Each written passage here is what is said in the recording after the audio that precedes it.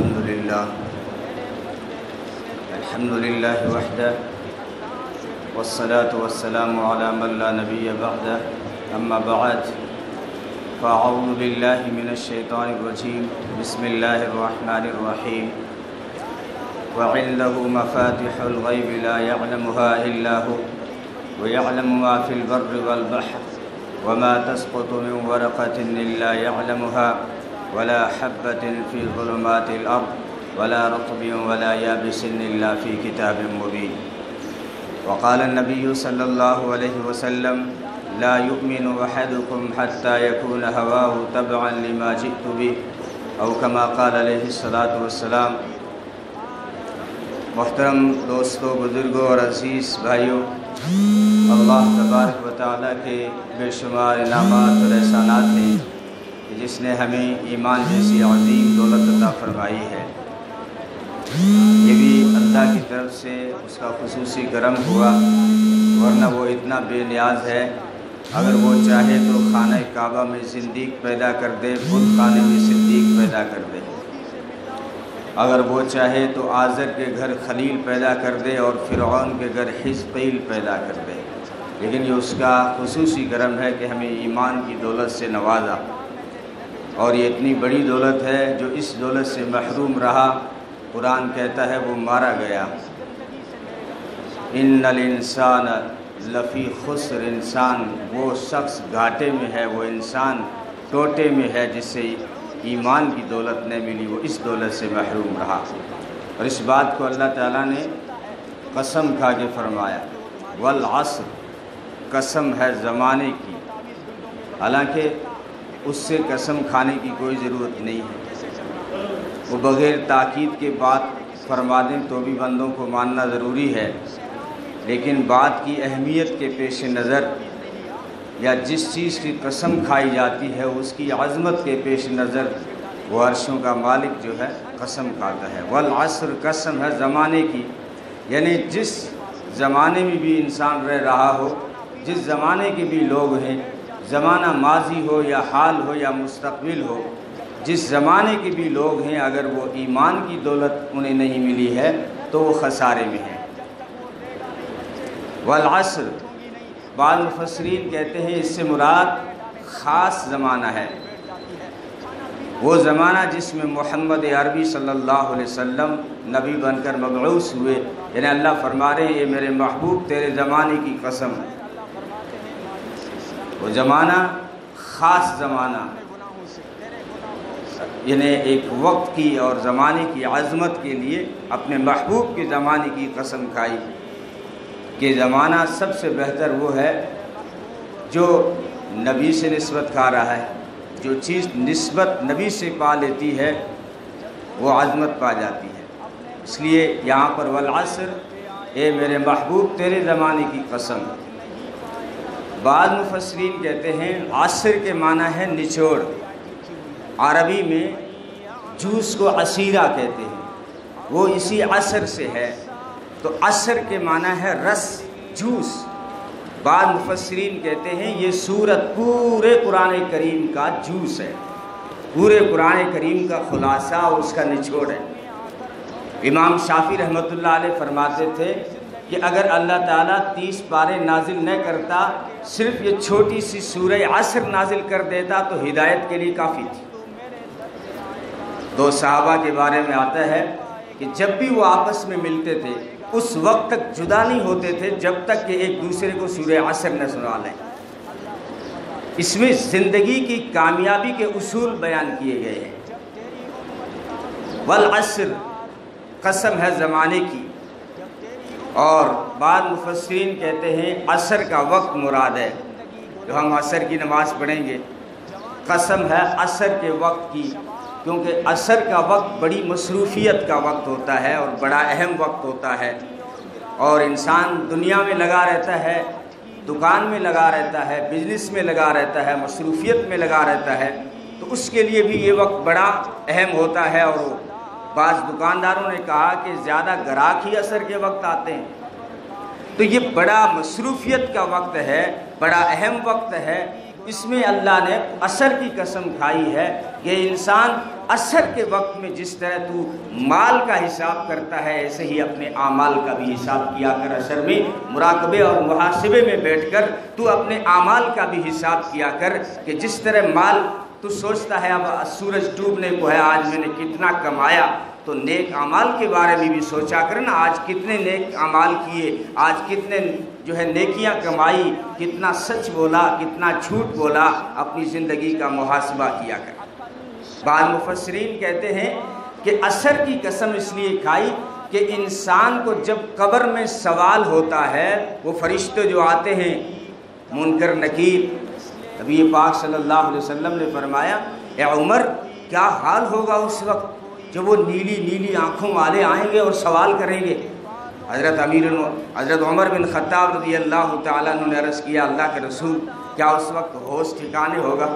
جب قبر میں ہم سے پوچھا جائے گا، ہوش ٹھکانے ہوگا؟ نبی نے فرمایا، ہوش تو سلامت ہوگا. تو حضرت عمر نے فرمایا، پھر میں اس سے نمٹ لوں گا. وہ تو عمر تھے لیکن تیری اور میری کوئی گارنٹی نہیں ہے۔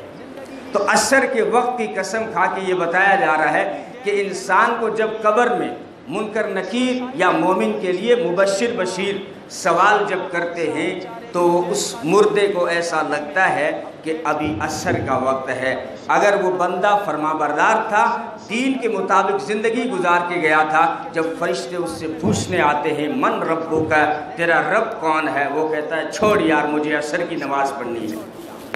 فرشتے کہتے ہیں، اس سے کیا سوال کرنے ہیں؟ اس کے لیے جنت کا بستر سجا دو، اس کے لیے جنت کی ہوائیں چلا دو، اس کے لیے جنت کی کھڑکی کھول دو۔ تو کہا ہے انسان جو اگر تو قبر کی کامیابی چاہتا ہے تو ان اصولوں کو اپنا لے جو اس صورت میں بیان کیے گئے ہیں۔ اس لیے قسم کھائی، والعصر قسم ہے زمانے کی۔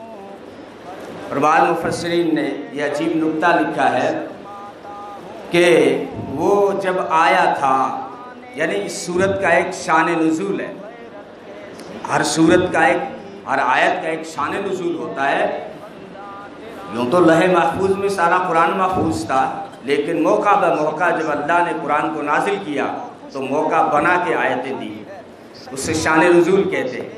تو یہ صورت کب نازل ہوئی؟ یہ صورت اس وقت نازل ہوئی جب حضرت سیدنا ابو بکر صدیق رضی اللہ تعالیٰ ایمان میں داخل ہوئے۔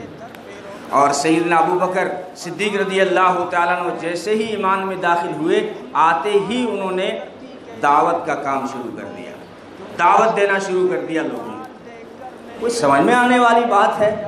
نبیوں کا نبی موجود ہے اور ابو بکر دعوت دے جا کے یہ ایک پیغام تھا، یہ آخری نبی ہے، اب یہ بوجھ امت پہ آنا ہے۔ تو امت میں جو سب سے افضل تھا، اس نے اس کام کو شروع کر دیا۔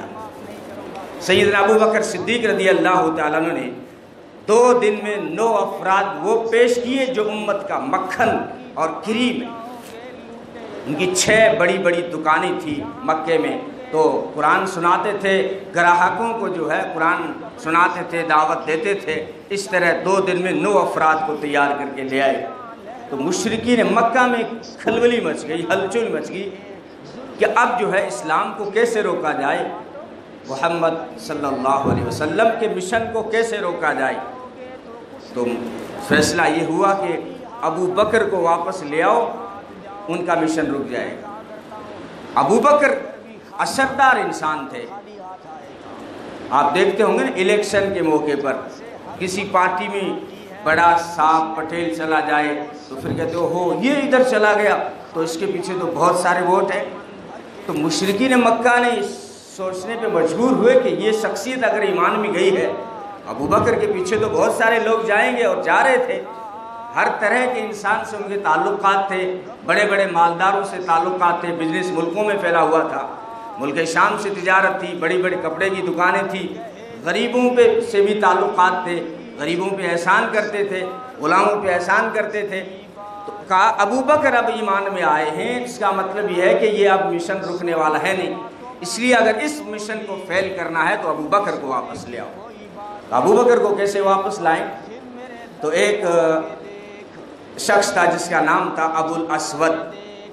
ہماری زبان میں کہیں گے کالیے کا باپ ابو الاسود، کالیے کا باپ۔ ابو الاسود نے کہا، ابو بکر، بہت پرانے زمانے سے میرا دوست ہے اور ہم نے ساتھ میں جو ہے پارٹنرشپ میں جو ہے کاروبار کیا ہے۔ میں لاتا ہوں، ابھی لاتا ہوں۔ تو یہ جو ہے ابو الاسود، ابو بکر رضی اللہ تعالیٰ کے پاس گئے اور جا کے کہا کہ دوستی کا واسطہ میرے سوال کا جواب دے۔ کیا سوال ہے؟ کہ انسان جب بھی کسی سے دوستی کرتا ہے تو اس کے پیچھے اس کا مقصد ہوتا ہے۔ تو مجھے اتنا بتاؤ کہ تم نے محمد صلی اللہ علیہ وسلم سے جو دوستی کر رکھی ہے، کیا مقصد؟ حالانکہ تم بڑے تاجر ہو، وہ تو خدیجہ کے مال پہ پل رہے کسی نے لڑکی نہیں دی، چالیس سال کی گڑیا سے شادی کی ہے۔ اور جو ہے کبھی چچا کے یہاں پلتا رہا، کبھی دادے کے یہاں پلتا رہا۔ اب خدیجہ کے مال پہ وہ ابو الاسود کہہ رہا ہے اس طرح کی باتیں۔ تو آپ واپس آ جائیے ابو بکر۔ ہم جو ہے، آپ کو سردار بنائیں گے اور آپ کو لیڈر بنائیں گے۔ آپ واپس آ جائیے اپنے باپ دادا کے دھرم پر اور سارے گراہک آپ کے پاس بھیجیں گے۔ مال تیرے قدموں میں نچھاور کر دیں گے۔ تجھے سردار بنائیں گے۔ اور پھر جو ہے عیش کرے گا، مزے کرے گا، بہت جب مال آئے گا، عیش کرے گا۔ تو سیدنا صدیق اکبر رضی اللہ تعالیٰ نے جواب نہیں دیا۔ کیوں نہیں دیا؟ اگلا سننے کے موڈ بھی نہیں تھا۔ جب سننے کے کوئی موڈ میں نہ ہو تو نبی پاک صلی اللہ علیہ وسلم نے بھی بعض مقامات پر نہیں بتایا۔ صحابی آتے ہیں، سلام کرتے ہیں۔ نبی نے فرمایا کم فصلی فائن کا لم تو جا، نماز پڑھ، تو نے نماز نہیں پڑھی۔ وہ پڑھ کے واپس آتا ہے۔ تین مرتبہ ایسا ہو گیا، لیکن نبی نے یہ نہیں بتلایا کہ تیری یہ غلطی ہے۔ کیوں؟ اگلا پوچھ رہا ہی نہیں ہے تو کیوں بتائے چوتھی مرتبہ جب اس نے طلب کے ساتھ، جستجو کے ساتھ عرض کیا اللہ کے رسول، میری کیا غلطی ہے کہ میں نے تین، چار مرتبہ نماز پڑھی، آپ کہہ رہے نماز نہیں پڑھی، واپس نماز پڑھو۔ نبی نے فرمایا، جب نماز پڑھتا ہے تو رکو اور سجدے ٹھنگ، اطمینان سے نماز کو ادا کیا کر۔ تو یہاں ابو بکر نے اس کو جواب تو نہیں دیا، لیکن ابو بکر نے سوچا کہ میں اس کو جواب دے دوں۔ ابو بکر نے کیا سوچا؟ یہ ابو بکر نے بعد میں بتلایا۔ ابو بکر نے کیا بتلایا بعد میں؟ کہ جو ابو بکر نے سوچا تھا، اللہ نے اس کو وہی بنا کر جبریل کو دے کر محمد عربی کے پاس سور اثر بنا کے بھیج دیا۔ یہ سور اثر جو ہے، یہ ابو بکر کی ہو بہو سوچ تھی۔ جیسے ہم سنتے رہتے ہیں کہ سیدنا عمر فاروق رضی اللہ تعالیٰ کے متعلق کہ جو ہے وہ بولتے تھے تو قرآن بنتا تھا۔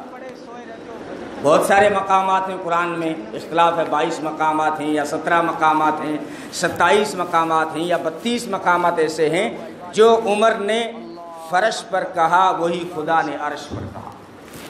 اس لیے مولانا ہمارے اکابرین میں سے تھے، مولانا عبدالشکور دین پوری رحمۃ اللہ علیہ۔ وہ فرماتے تھے، عمر جب بولتا ہے تو قرآن بنتا ہے، عمر جب تولتا ہے تو میزان بنتا ہے۔ تو عمر کے بارے میں مشہور ہے کہ عمر جب بولتے ہیں تو قرآن بنتا ہے۔ لیکن یہاں ایک سوال ہو سکتا ہے کہ ابو بکر تو عمر سے بھی افضل ہیں۔